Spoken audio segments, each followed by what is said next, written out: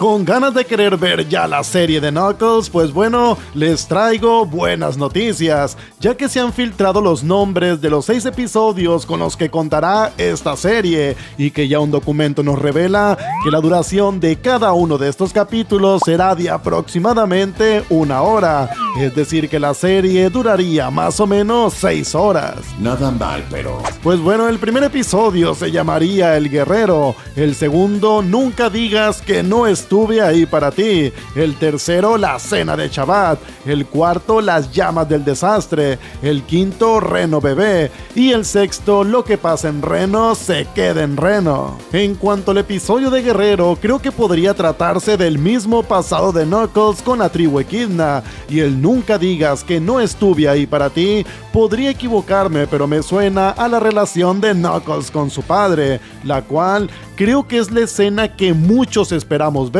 ya que en Sonic 2 la película solo nos pusieron la miel en los labios dejándonos con ganas de más. En cuanto al episodio que se llama la cena de Shabbat, pues bueno, para el que aún no sepa qué es Shabbat, en resumidas cuentas significa el día de descanso de la semana, ese día de pasarla bien y descansar, por lo que con esta explicación podemos saber por dónde irá ese capítulo. En cuanto al episodio de las llamas del desastre, me gusta para que sea el episodio donde los Echidnas son erradicados y Knuckles, al ser el único sobreviviente, se convierte en el único ser de su especie. Y en cuanto a Reno Bebé y el episodio de lo que pasa en Reno se queda en Reno, se trataría de cuando Knuckles visita los casinos, ya que para el que aún no lo sepa, Reno es el nombre de una ciudad del estado de Nevada ubicada en Estados Unidos, y así como Las Vegas es conocida por sus casinos, lo mismo pasa con Reno, ya que Reno es muy famosa por sus espectaculares casinos. Así que en estos últimos episodios estaremos viendo a Knuckles en los casinos,